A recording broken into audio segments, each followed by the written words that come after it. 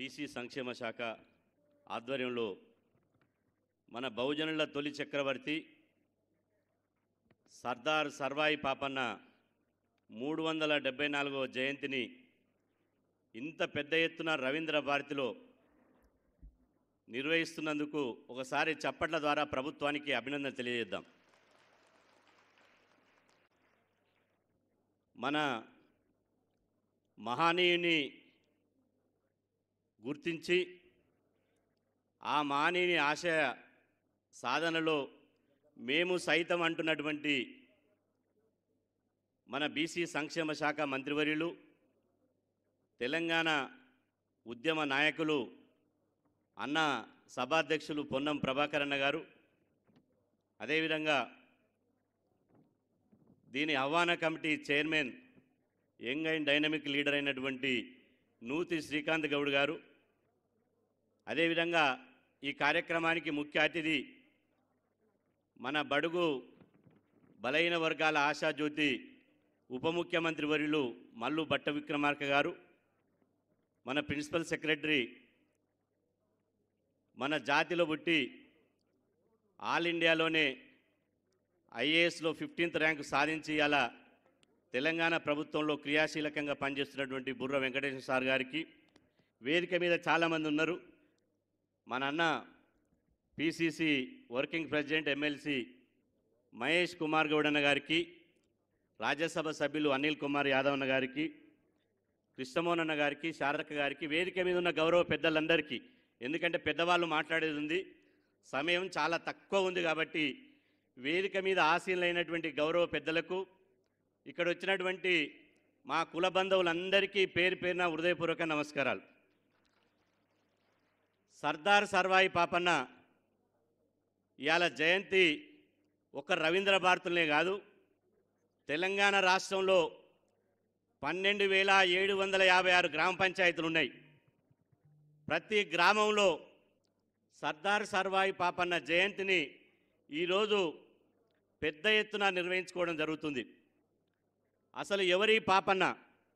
ఎందుకు ఇంత పెద్ద ఎత్తున స్పందన ఉంది? ఎందుకు ఈ జయంతి చేయాలనే దాని మీద చాలామంది మాట్లాడారు నేను ఎక్కువ మాట్లాడకుండా. ఇవాళ క్షత్రియుడే కత్తి పట్టాలే క్షత్రియుడే రాజ్యమేలాలే క్షత్రియుడే రాజు కావాలనే ఒక మనువాద సిద్ధాంతాన్ని పటాపంచలు చేస్తూ క్షత్రియుడు కాదురా కత్తి మేము కూడా పడతాం ఈ రాజ్యాన్నిలే మొనగాళ్ళ మేము అని చెప్పి ఇవాళ మొఘలు సామ్రాజ్యం మీద మూడు వందల డెబ్బై నాలుగు సంవత్సరాల క్రితమే ఇవాళ గోల్కొండ కోటకు ఇవాళ బారుల్ తన సైన్యాన్ని దండుగట్టి గోల్కొండ కోటను ఏలినటువంటి ఈ భారతదేశంలోనే తొలి బహుజన చక్రవర్తి మన సర్దార్ సర్వాయి పాపన్న అని చెప్పి సందర్భం గుర్తు చేస్తున్నా. మన తెలంగాణ గడ్డ మీద మన తెలంగాణ గడ్డ మీద ఇవాళ పుట్టి అమ్మ కళ్ళమిటేమొస్తుంది తాళ్ళెక్కిటేమొస్తుంది కొడితే గోల్కొండ కోటనే కొట్టాలే ఏలితే ఈ రాజు ఈ రాజ్యాన్ని ఏలాలని చెప్పినటువంటి గొప్ప నాయకుడు మన పాపన్న అని చెప్పి సందరం గుర్తు చేస్తున్నా. ఇట్లాంటి పాపన్న చరిత్రను ఇవాళ మనం అందరం గుర్తుపెట్టుకొని వారి జయంతిని జరపడం అంటే పాపన్న ఆశయాలను ముందుకు తీసుకుపోవడం అవుతుంది. పాపన్న మన జాతిలో పుట్టడం పాపన్న మన జాతిలో పుట్టడం మనం అందరం చేసుకున్న అదృష్టంగా భావించాలి అని చెప్పి సందరం సందర్భం గుర్తు చేస్తున్నా. అట్లాంటి పాపన్న ఆశయాలను మనకు ఈ ప్రభుత్వం నిజంగా అదృష్టవంతులం. బీసీ వెల్ఫర్ సంక్షేమ శాఖకు ఒక ఉద్యమ నాయకుని అదేవిధంగా ఒక బీసీ కమిట్మెంట్ ఉన్నటువంటి నాయకుని మంత్రిగా చేయడం మూలంగా గతంలో ఎన్నడూ లేని విధంగా నేను ఏ పార్టీ కాదు కానీ గతంలో ఉన్న బీసీ సంక్షేమ శాఖ మంత్రి నిద్రపోయిండా మెలకతోటి ఉండా అర్థం కాకపోయేది.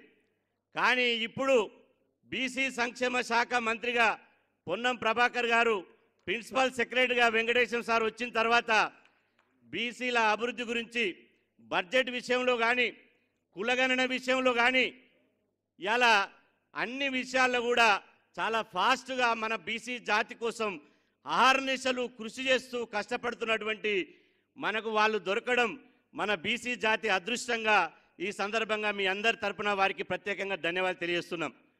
ఇవాళ మొన్ననే ఇలా సేఫ్టీ మోకులని మనం తాడు మీదకి వెళ్ళి బట్టి చనిపోతుంటే ఎవరు కూడా ఆలోచించకపోతే సేఫ్టీ మోకులని చెప్పి మనకు పరిచయం చేసి ఒక్క గౌడ బిడ్డ కూడా తాటి చెట్టు మీదకి వెళ్ళి పడి చనిపోయిన వార్త రావద్దు అని చెప్పి ఇవాళ సేఫ్టీ మోకులను తీసుకొచ్చినందుకు సభ ద్వారా వారికి ప్రత్యేకంగా ధన్యవాదాలు తెలియజేస్తున్నాం. ఇవాళ మేనిఫెస్టోలో అవి చాలా ఉంటాయి. కానీ మేనిఫెస్టోలు ఉన్నట్టు అందరూ కింద ఉన్న వాళ్ళు రాష్ట్రంలో ఉన్న వాళ్ళు ఏకైక ఆకాంక్ష ఏంటంటే మా పాపన్న చరిత్ర భవిష్యత్ తరాలకు నిలబడాలంటే ఇలా వారి చరిత్రను ముందుకు తీసుకుపోవాలంటే వారు పుట్టి పెరిగినటువంటి జనగామ జిల్లాకు పాపన్న జిల్లాగా పేరు పెట్టాలని చెప్పి రాష్ట్రంలోని కోట్లాది మంది ఆకాంక్ష కాబట్టి ఈ వేదిక ద్వారా ప్రభుత్వానికి మీ అందరి తరపున విజ్ఞప్తి చేస్తున్నాం. ఇలా ముప్పై మూడు జిల్లాలు ఉన్నాయి కొత్త జిల్లాలు చాలా పేర్లు పెట్టారు కాబట్టి పాపన్న జిల్లాగా పెట్టాలని చెప్పి సందర్భంగా మీకు విజ్ఞప్తి చేస్తున్నా. రెండోది గత ప్రభుత్వం ట్యాంక్ బండ్ మీద పాపన్న విగ్రహం పెట్టలే.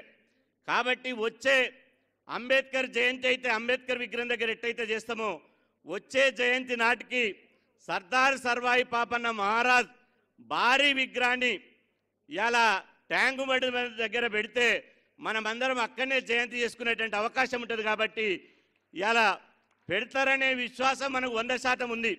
ఎందుకంటే మనం ఏది మాట్లాడుతున్నామో అది జీవో రూపకంలో తీసుకొస్తూ ఖచ్చితంగా మీకంటే ఫస్ట్ టైం ఏం చేస్తామని చెప్పి వాళ్ళు అంటున్నారు కాబట్టి ఖచ్చితంగా మన గౌరవ ఉప ముఖ్యమంత్రి వర్యులు ఇక్కడే ఉన్నారు కాబట్టి మన గౌరవ మంత్రివర్యులు ఉన్నారు కాబట్టి ఖచ్చితంగా ఈ రెండు అంశాల్లో సానుకూలంగా స్పందిస్తారని చెప్పి సందర్భంగా తెలియస్తూ ఇక చివరిగా ఏంటంటే రాష్ట్రమంతా ఏ కూడల దగ్గర కూర్చున్నా ఒకటే చర్చ.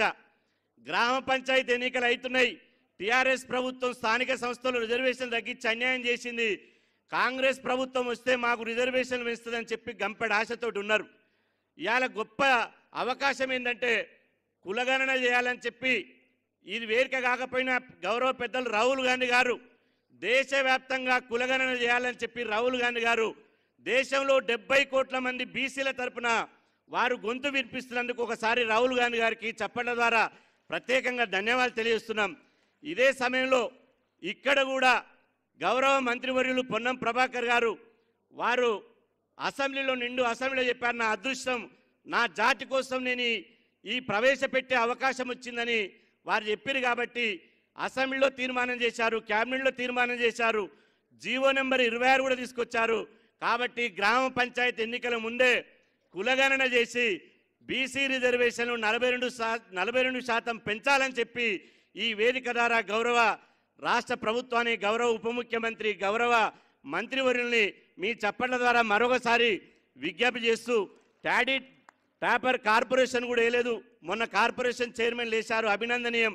సామాజిక న్యాయం కూడా చేయాలి. రాహుల్ గాంధీ గారు చెప్పినట్టు ఈ గీత కార్పొరేషన్ కూడా ఇలా ఒక బీసీ ఒక గౌడ బిడ్డకు వచ్చే విధంగా అవకాశం వచ్చే విధంగా చూడాలని చెప్పి ఈ సందర్భంగా తెలుస్తూ చివరిగా చెప్పేది ఏంటంటే ఒకసారి మనం మన బండ్ల మీద మన కార్ల మీద ఎవరెవరో స్టిక్కర్లు అతకపెట్టుకుంటాం. ఏ మన బండ్ల మీద ఎవరి స్టిక్కర్లు ఉండొద్దు. మన ఇంట్లో దేవుని పక్క పంటి మనకు బైక్ ఉంటే కారు ఉంటే ఎవరున్నా బీసీ బిడ్డలు గౌడ బిడ్డలు సర్దార్ సర్వాయి పాపన్న స్టిక్కర్ అతుకు పెట్టుకోవాలి ప్రతి ఇంట్లో ఫోటో ఉండాలి. ఊరికొక సర్వాయి పాపన్న ఉట్టాలి. ఇంటికొక సర్వాయి పాపన్న ఉట్టాలి. అప్పుడే సర్వాయి పాపన్న కలలు కన్నటువంటి రాజ్యం రాజ్యం వస్తుందని చెప్పి సందర్భంగా తెలియస్తూ ఈ అవకాశం ఇచ్చినటువంటి